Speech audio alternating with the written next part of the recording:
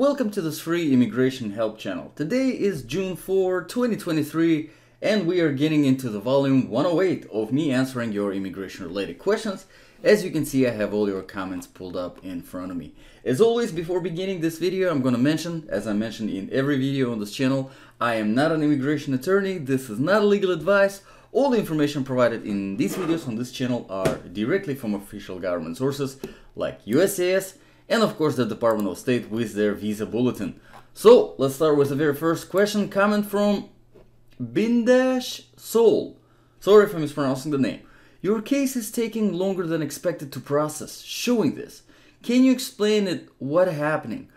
Okay, Bindash. So if it's if it's showing on USCIS side, and most likely it is because typically that's you know that's that's their message. All right, that's familiar message from USCIS.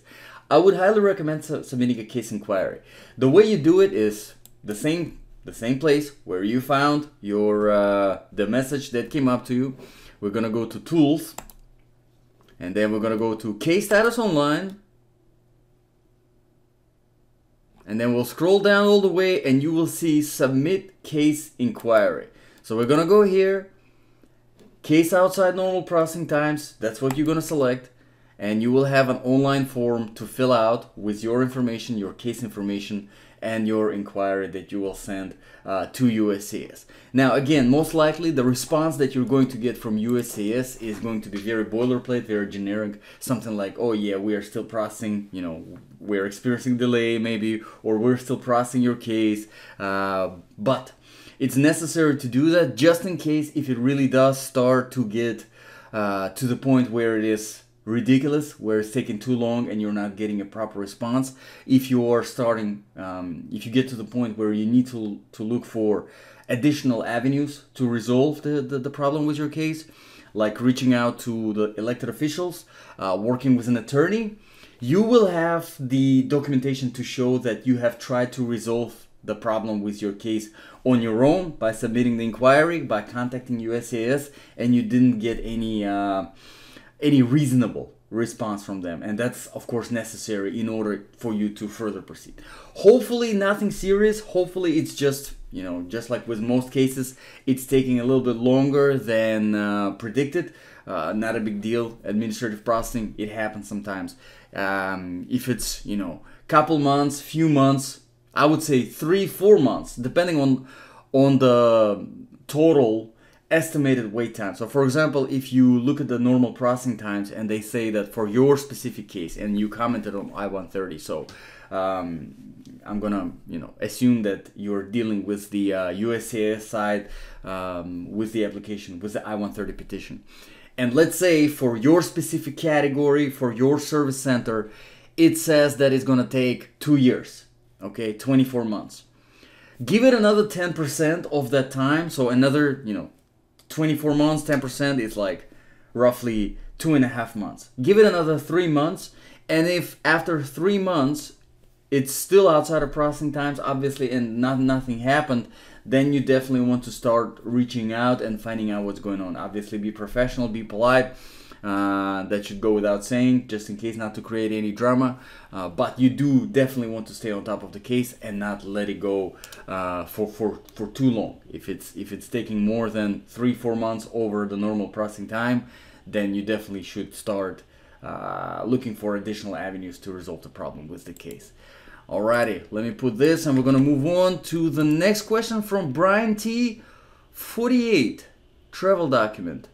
Some says it's a passport number, other website says it's Visa, red bottom right number on Visa. Anyone know for sure which one? Uh, Brian, if you can clarify a little bit uh, your question, that, that would be helpful. So you commented on the video I-130, which is the petition for alien relatives. So whenever it comes to getting the actual visa, the immigrant visa, yes, it is. It looks exactly as uh, uh, just a regular visa basically. Once you enter with that immigrant visa for the first time into the United States, it automatically converts to a temporary permanent resident card. And that temporary permanent resident card allows you to travel back and forth outside, in and out of the country without any problems, uh, just like a resident, just like you would normally with a normal green card, uh, normal permanent resident card. Uh, so if that's what you're referring to uh, as a travel document, then yes, it is just that same visa uh, that is uh, place in the passport, and it looks practically exactly like the uh, like a non-immigrant visa, like a B1, B2, for example, uh, or a student visa. Looks exactly the same, just has a few different numbers in there, and uh, yes, the the uh, special uh, um, feature of this visa is that once you enter the United States with it, it converts to the temporary permanent resident card. Um, so I guess if, if that's what you're asking for, then hopefully my answer was helpful. But if not, please let me know, and I will try to you know clarify your question, and I will try to give you a better answer. Uh, just make sure don't answer to my comment within your comment, because then I don't see the notifications for those for some reason. Alrighty, let's move on to the next one from Sher Ali Khan. Hi, my priority date is 2013 F4 category from Islamabad, Pakistan. Case is approved, still in NVC. Case creation is done. When I can expect documentary qualification approximately and how long it will take more for visa. Sher, thank you very much. That's a great question. So let's take a look at the visa bulletin. That's what we're going to be looking at. So in order to, for us to tell when the NVC portal is going to be open, if we have been approved by USAS, and we're waiting for the NVC portal to fully open up so that you can start the documentary qualification process. For that, we will have to look at the graph B, which is dates for filing. That's what it's called, uh, but it shows actually the uh, when the NVC portal is opening up to become documentarily qualified. So for F4 category, because you're Pakistan Islamabad, you're going to be in all chargeability. February 2008. So people with priority date in in February 2008, that's when they filed their I-130 petition. That's when they were accepted by USCIS, not approved, but accepted. Um, as of right now, in June 2023, these people with this priority date are getting the full access to the NVC portal. So, your priority date is 2013. So you are looking roughly at another five years roughly another five years before you will have full access to the NVC portal so that you can become documentarily qualified. Uh, hopefully it speeds up, but F4 category, it's one of those categories that takes a really, really long time because there's a lot of backlog, unfortunately. And I can personally relate because I have a petition myself in F4 category. All right, moving further, Talking Versus. Talking Versus, thank you. You're very welcome. Uh, I'm glad my video was helpful. Moving further, Amanda Bruce. Documentation, so documentation qualified since November 2022. Six months passed according to the updated info. No update as yet. Amanda, let me know what the category is because depending on the category, you know, if you're in immediate relative category, then you your immigrant visa is already available. So the only thing that you're waiting for is for the US embassy to schedule the interview or the field office if the beneficiary is here in the United States. But if you are in one of the four preference categories that is not an immediate relative, but that are subject to the backlog that we are dealing with, then of course it might be much longer uh, because you are, you know, you're approved, you're documentarily qualified by the NVC, but you're still waiting for the availability of the immigrant visa. And before it is available, the US Embassy is not going to schedule the interview. So that might add significant amount of time. So please come back to this channel if you can and let me know uh, in a separate comment. Don't respond to my comment within your comment because YouTube does not send me those notifications. But let me know in the separate comments a few things. The category, the priority date, and also the chargeability area. And by those three things, I might be able to give you a better estimate. Alright, let's move on to the next one from Denise to four. Once again, Denise, thank you for your question. I Appreciate that. Hi sir, after becoming documentary qualified, and yet NVC portal hasn't been made available. Can you move ahead? Or there's a way to notify NVC that your case is current and upload the necessary documents. Denise, I think you might got, have something confused because you get documentary qualified on NVC portal. So if you don't have the NVC portal open yet, you are not yet documentarily qualified. So yeah, so you get approved by USAS if you are approved by USAS. it doesn't mean that you're documentarily qualified. You get documentarily qualified at the NVC portal. And once it is open, then you can start your documentarily qualification process. So you need to double check if you were approved or I mean, you're probably already approved by USCIS, but if you don't have the full access to the NVC portal, then you're not yet documentarily qualified, Denise. So I would definitely recommend checking out the video. Actually, this video right here, documentarily qualified, what does it mean? Real NVC case status, something, something. Check out that video. Uh, in that video, I talk about what is involved in becoming documentarily qualified. Um, so you can you know you can you can see the real NVC portal that was already documentarily qualified. You can see the uh, applications that are involved, uh, the DS260 visa application, the affidavit of support, all the fees, all the documents, so you can prepare. So once your NVC portal opens up, you can start the documentary qualification process. Alrighty, moving further to at Erie Love Hello, we have been documentarily qualified February 27, 2023, Manila, CR1 category. When will my wife get an interview? No interviews since middle of January. Okay, great question. So, uh, let's, uh, well, since it's the CR1, uh, then the immigrant visa should already be available February 27, 2023. So I am thinking right now, let's see, so it's the end of February, so March, April, May, and we're starting so roughly three a little bit over three months right now. So so you're still within that normal kind of uh, wait time for the interview. I've seen the interviews typically somewhere between three and four months when the immigrant visa is available. Sometimes I've seen the cases where it takes up to six months, and the longest one so far that I've seen is nine months when the immigrant visa was already available. What you can do is I would recommend reaching out to the U.S. Embassy uh, in, in Manila, and uh, you can find it on usembassy.gov. You can find the appropriate U.S. Embassy on this website right here. It's a list of all the countries with the embassies in there. Um, give them a call and say, hey, you know, I'm in this this category. I was already documentarily qualified. The immigrant visa should already be available. When do you think I will be scheduled the interview? Um, sometimes they give out that information. They can say, hey, we have, you know, the next um, appointments coming up in the next couple months, in two months, in three months, or whatever. Uh, if they don't give you any information, don't be too upset because sometimes they don't most of the times they don't. They just say we can't give you that information unfortunately. Uh, but it should be i would say it should be in the next few months. You should definitely have the interview because it's uh, it's getting there. Alrighty let's move on to the next one from lambo. Hello thanks for these awesome sessions. By the way i'm still waiting for my question to be answered by you. Thanks lambo if you can please please repost the question because it's most likely got buried underneath all of the comments i do get a lot of comments every single day. So unfortunately, sometimes some of the comments get missed. Like looks like your your comment has been missed. I'm sorry, Lambo. Please, please submit another one as a separate comment, uh, and I'll try to get it in the, in the next uh, in the next session. I, I apologize for it. Alrighty, let's move on to the next one from David Francis. Good night. How long does a police certificate valid for IR5 category? Great question, David. So I am pretty sure. Well, here's the thing you are submitting your police certificate during the documentary qualification process.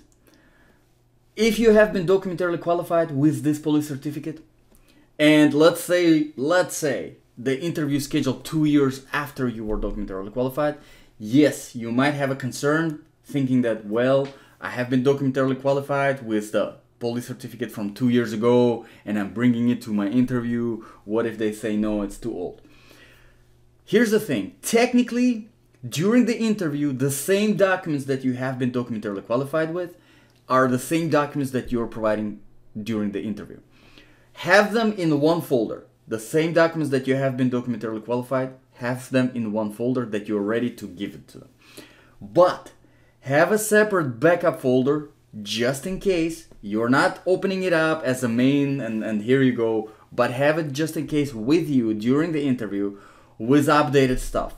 Updated tax returns, updated police certificate, updated whatever you can have updated, whatever you think that might be uh, because obviously you know stuff like birth certificate they, they you know you, you know it's, it's not going to be it's not going to change but things like tax returns tax transcripts whichever one you're providing uh, the police certificate things like this they definitely do you know get outdated um, so technically it should not be outdated. The same police certificate that you provided to the documentary for documentary qualification is the same police certificate that you will be providing during the interview. But to be on the safe side, have a backup folder with the most updated information just in case if they ask for it during the interview you can say oh yeah sure not a problem. Here you go. This is the updated stuff and that's it. Safe side. Always better to be on the safe side. Alrighty moving further to the next question from american dream. American dream says hi salam alaikum brother. Walaikum assalam Thank you so much for offering your time to help people. There's no a lot of people in this world help people these days. We really appreciate your help and please don't stop. You're making the immigration like piece of cake. I found your channel last week and believe me, since that I almost spent about 8 hours at least every day just to listen to all your videos. I appreciate it. I appreciate your kind words. I just have a question. I won't apply for I-130 petition for my parents and also have my sister. She's 7 years old and my brother, he's 16 years old. I heard in one of the videos you said, or maybe I misunderstood, I can apply for my parents as beneficiary and my brother and sister under 21 and can be added to my parents as derivatives. Yes. So if that's true, how can I do that? If it's not true, what should I do? Thank you again for your efforts to make it easy for everyone. American Dream, that's a great question. Yes. So basically all you're doing it, you're going to be submitting two separate I-130 petitions. You're going to be submitting an I-130 petition for your mom. You're going to be submitting I-130 petition for your dad. And on both of those petitions, you will include their, obviously, you know, your, your you're one of their kids, but the other two kids as well, your your your little sister and your little brother, they're going to be included. And because they're under 21, they will be going as the derivative beneficiaries. So for that, there's really nothing. Uh, uh, nothing major, nothing special that you need to do. Just make sure that they are mentioned in both of the applications as obviously their children. Uh, be prepared to provide the birth certificates for everyone, showing that you know they are kids. That that uh, obviously marriage certificate between your mom and your dad will be necessary as one of the initial evidence um, pieces of information that you will provide. But that's that's really it. It's very straightforward. And uh, your parents, because you're filing for your parents, I'm assuming you're already a U.S. citizen, uh, so it's going to be an immediate relative category, which means that once the USCIS case is approved, once the case is approved on USCIS side, that's that's the proper way to say it. Uh, the immigrant visa is already available, so once you know once you're done with USAS, once you're done with the NVC, it's just an interview. It still will take some time. It will still take you know at least a year, year and a half potentially for all the administrative processing. But if you have everything prepared, you know if you know if you did your research and it sounds like you've done all your research and um, just start it as soon as possible. That's that. That's really it because there's still some time that is involved whenever it comes to I-130 petition, even though it is immediate relative category. Alrighty, moving further to the next question from Odical.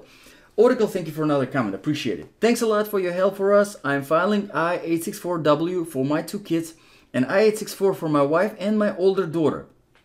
Okay, so two kids and then your wife and two and one daughter. Okay, so two and two. Okay, with the form I-864 part 5 question 4 which says if have dependent children, enter the number there. Uh-huh.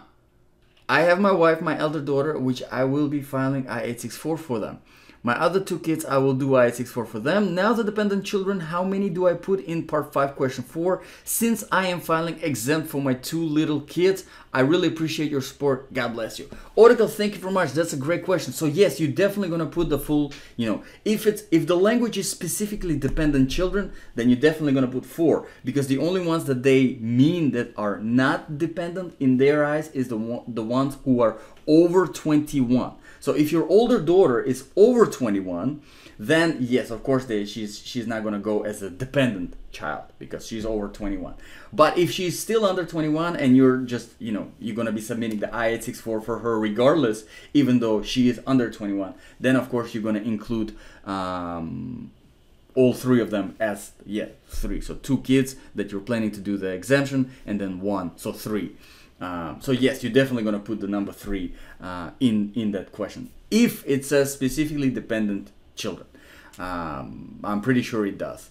Alrighty, so let's uh, put this and we're gonna move on to the next question from Adrian Richards. Adrian Richards says, uh, there's actually more. Good day, sir. I have been recently got approved on my spouse I-130. Congratulations. However, didn't indicate where to apply for the immigrant visa since I'm in Jamaica. They said to file I-824, yep, which we did on the 13th of May. How long will it take for approval from NVC? Okay, great question. So, um, because it was already approved by USCIS, once you file the I-824, you will see that on USCIS side, it will, you know, um, update to the that's it case closed so uh, because we're we're we're talking about the spouse i would say it will depend if you are a us citizen or a permanent resident because if you're a us citizen then you, the immigrant visa for, for your wife, for your spouse is already available. That's it. Pretty straightforward because it's immediate relative category. Once USCIS case is approved, that's it. Immigrant visa is available. But if you're a permanent resident, then it's F2A, and the F2A we're dealing with some of the backlog. It's not that bad, but still we're dealing with some of the backlog. Then there will be a little bit more of the time to wait. So let me know in the follow-up comment if you can which which category it is if you're a US citizen or permanent resident and I might be able to give you a little bit more information based on the visa bulletin and based on if the immigrant visa is already available. Alrighty, moving further to Jitendra Oza, and looks like there is a comment to the comment of Jitendra. Uh, so Jitendra says, I'm Indian and my brother has filed my case in November 2015 from Vermont Center. Approximately when should I get my green card? And then Trace X answered, the current priority date for F4 sibling petition in India is 2005. Let's double check that. Let's see. For India, 2005. Yep, September 2005. And in India is 2005 and your priority date is 2015. Thus, it will take approximately around 10 years, maybe more or maybe less, depending on the speed of the backlog process. Trace, you're 100% on point. Thank you for answering that question for me. Uh, yes, Jitendra, so judging by the visa bulletin, because we see that the full length of uh, you know people that are waiting as of June 2023 roughly you know since so what is it 2005 and we are in 2023 that is 15 years plus 3 years 18 years. So roughly 18 years for India chargeability area.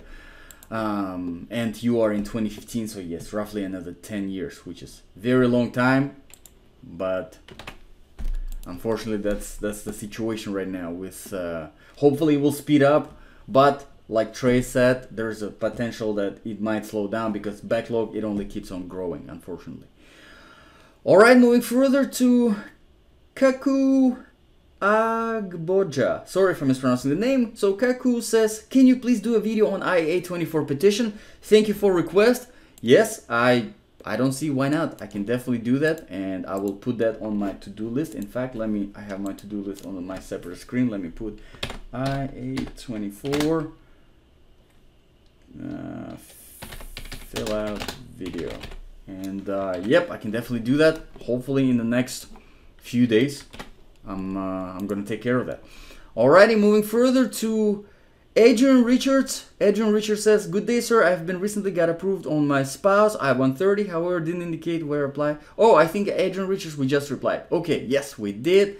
I'm gonna post the same thing here. And Adrian I really appreciate you following up and, and posting the second one. And for everyone who's watching, if if I'm not, you know, if I didn't get to your comment within like two, three days, maybe four days, then it means that it probably got buried underneath all of the comments that I receive.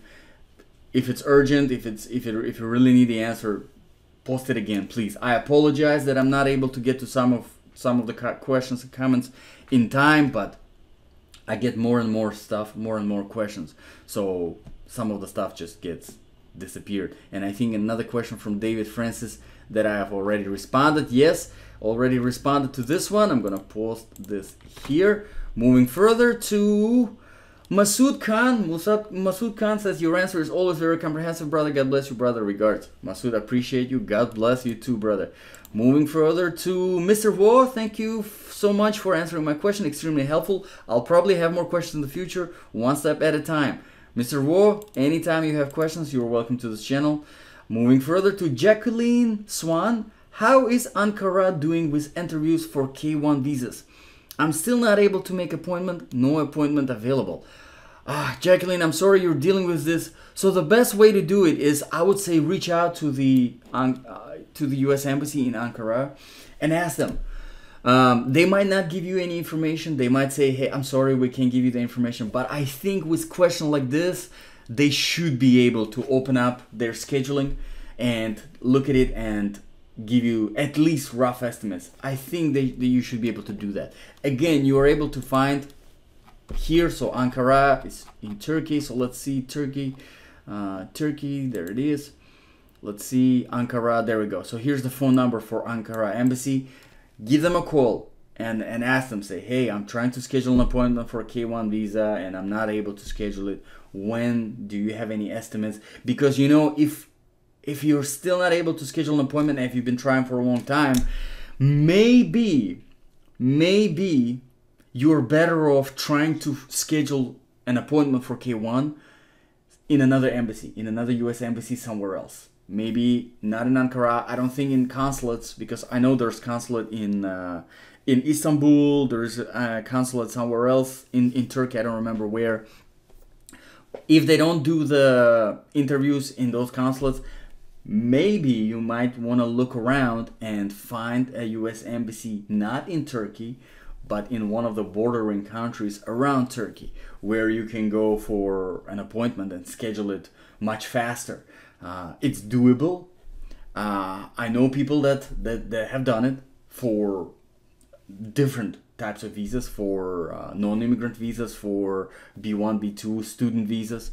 Because they could not schedule it in their local US embassy, they scheduled it in another country, they travel to another country. Of course, it is more hassle, but you know if you have been already waiting for a long time and there's still unknown when you will be able to schedule an appointment that might be something you want to you know take a look at and potentially find a solution that way. Okay let's move on to probably our next. Nadine parkinson says i'm a green card holder. Okay i think nadine uh, a question I ask you about in Florida is my friend, not me. Oh, I see. Okay, okay. So Nadine, thank you for clarifying that uh, because Nadine had a double question and I couldn't understand it. Why in one question it was uh, it was for uh, out of status, and then in another question the person was filing a petition for I think a child, and I couldn't understand why. But it was one for a friend and one for Nadine. Nadine, thank you for clarifying that. I appreciate it. All right, let's move on to the next one from Adorable. Adorable says, Hi, sir. My daughter priority date December 2021. Documentarily qualified March 23, 2023. IR2 category from Philippines. When's the interview? Okay, Adorable. Thank you very much for your question. So, congratulations on becoming documentarily qualified. It is IR category, so it is an immediate relative. So, the immigrant visa is already available. The only thing that we're waiting for right now is the US Embassy to schedule the interview. So, March 2023, it's been now roughly April, May. So, two months, a little bit over two months, two and a half months. So, like I said, it is typical for these, you know, the interviews before NVC sends the case to the US Embassy and then US Embassy opens up. And the thing is with the US Embassy, they can't schedule the interview earlier than 30 days. Okay, so let's say, let's say, for example, if in your situation, they their scheduling is your appointment is available for your interview for your daughter interview in let's say August 1st they cannot send you a notice that the interview was scheduled for August 1st up until July 1st and the reason for that is they can give you only 30 days so far. Why? Because of the medical examination. They cannot give you more than 30 days for you to schedule the medical examination. There is a conversation, and that goes for everyone who's watching this video. Kind of a little bit of a bonus for everyone if you stuck around till the end of this video. Make it worthy for everyone.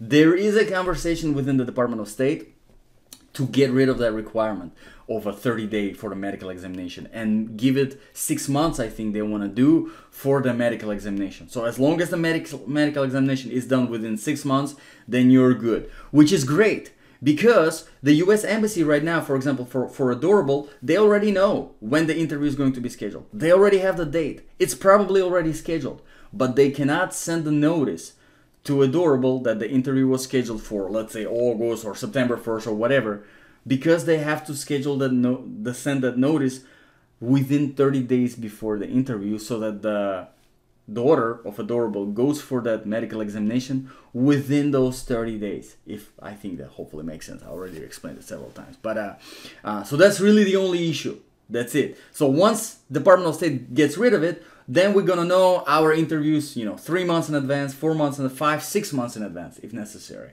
and it's it's much better to know yes, it is, you know, five months ahead, but at least, you know, I'm not in the dark and sitting and waiting and not knowing. So at this very moment, adorable, what you, the best thing to do is again, reach out to the U.S. Embassy. Uh, let's, uh, Philippines, yeah, so already showed that in Turkey. So Philippines, let's see, Philippines. Let's see how many embassies, because I, I don't think I ever clicked on Philippines. No, there's only one in Manila. There you go. So reach out. This is a phone number for them, or you can go actually. You can go to their website and double check to make sure. There you go. This is updated. So this is 2000. Let's see if it's the same number here. Yep, it's the same number here. So give them a call. Ask them. Say, hey, already documentarily qualified. It's immediate relative category, so the immigrant visa is already available. I just wanted to see when the interview is going to be scheduled. Because it is most likely already scheduled, they can tell you. If they don't tell you, don't be too upset. They can say, hey, we can give you that information. Say, okay, that's fine. It's all right. But it's worth a shot. Uh, but like I said, you know, earlier, you know, roughly, you know, anywhere between three months and I've seen nine months people wait in the immediate relative category for their interviews, and hopefully it will be scheduled sooner than later.